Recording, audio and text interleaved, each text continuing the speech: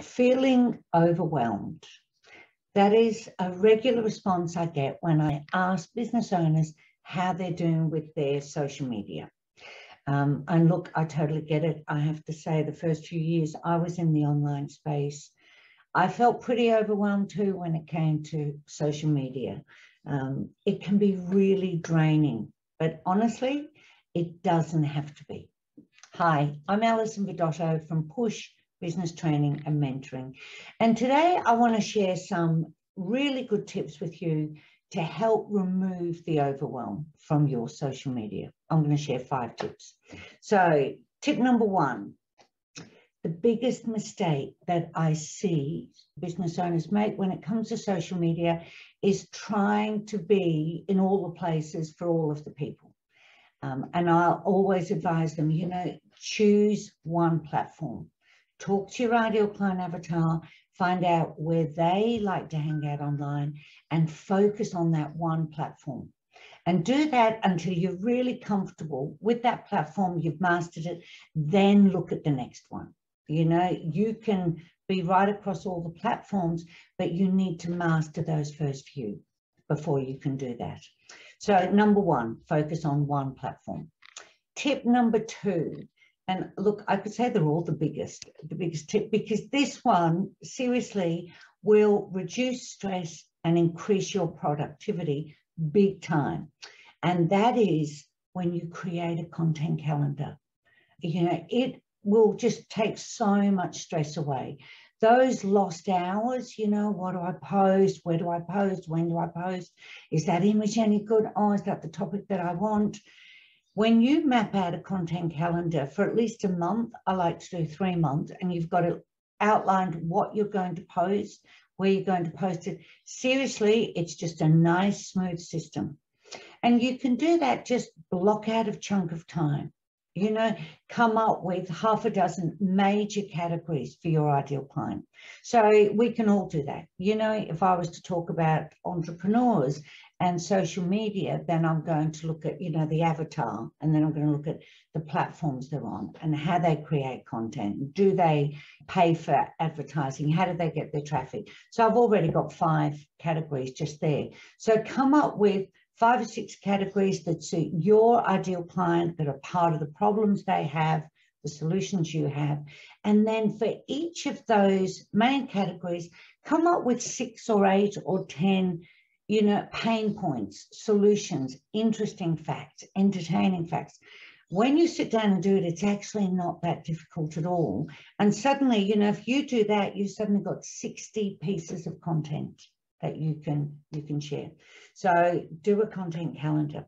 And of course, once you do do that, you get to tip number three, and that is don't go it alone. So once you've got your content calendar, hand it off to a VA. You can get really inexpensive uh, VA services, you know, that are offshore, and you've got your content calendar mapped out. They will take that, they'll create the image, They'll schedule it, they'll post it. It takes all the pain out of it. It's all happening without you, so you can be working on growing your business. One of the best things you can do. And the other thing is, if you're not in the position right now, because you will be, but not right now, to actually take on other team members, utilize the tools that are out there. And a lot of them are free. So you can pre schedule um, and you can pre-schedule inside the platform. So I like to schedule my posts inside of Facebook, but I also use Meet Edgar, which is a paid service, and we pre-schedule all of our posts on other platforms.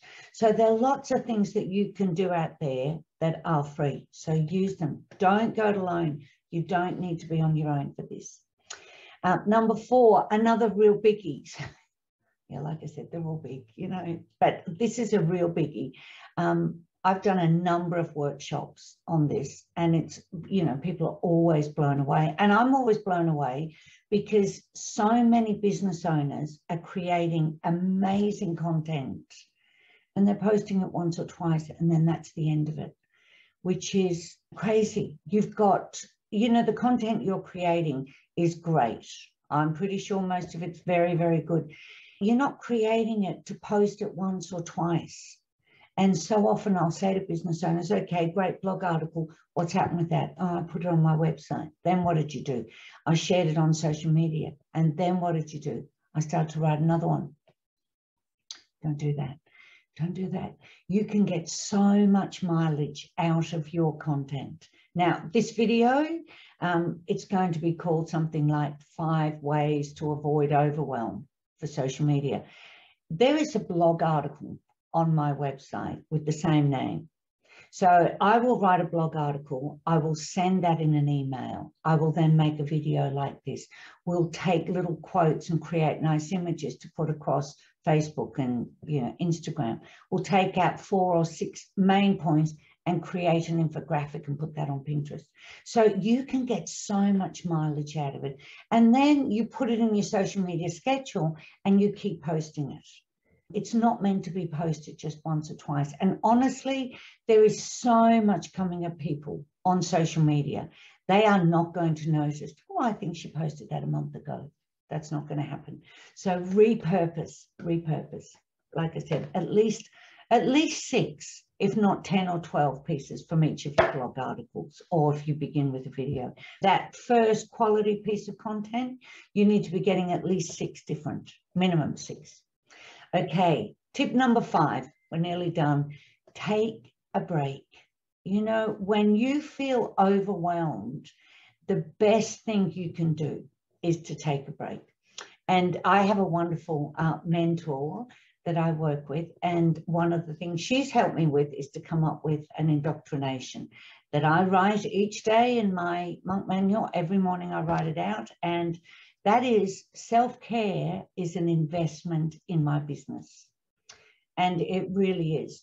And it is in yours too. So when you feel overwhelmed, take a break. And look, especially if you've pre scheduled your post, nobody's going to notice that you're not there. So take that break, go for a walk, turn it off for a couple of days. You know, you'll come back and you will feel so much better for it. And of course, that's going to make you a lot more creative and innovative and productive. And so you're going to do much better for taking a break. Okay, so five tips. Number one is stick to one platform until you master that. Number two, create a content calendar. I'm really resisting saying this is the biggest one because I want to say it with each of them. Number three, don't go it alone. You're not meant to walk this path alone. We're all in the same boat in one way or another, so don't go it alone. Number four, repurpose. Get at least six pieces of content out of every piece you create. Number five, take a break. Look after yourself. You'll be glad you did. Okay, I hope those tips were helpful. And if you like this sort of thing, please hit the subscribe button below. And also, I'm going to put in the comments a link to a free social media checklist to help you with your social media. So I hope you're having an awesome week and an even better day. Take care. Bye-bye.